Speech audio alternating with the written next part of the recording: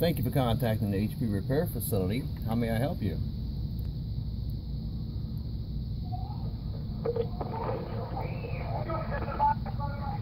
Yeah, I ordered uh, not too long ago. I ordered a recovery uh, a recovery disc from you guys to fix my laptop because for some reason uh, the it was missing like the Microsoft software.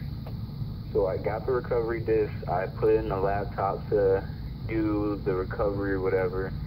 And every now every time that I do it and try to reset it to factory setting, and it turns off the laptop when it's done, it just sends me right back to the same page when I turn on my laptop. Okay, I apologize for having this problem, and I would love to help you. Uh, unfortunately, they have shut down this entire call facility and moving it to India. So today I have been laid off, and they've shut our systems down.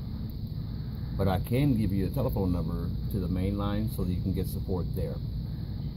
Wait, me one second. You heartless bastard. You can go ahead with the number. Okay, it's 1 800.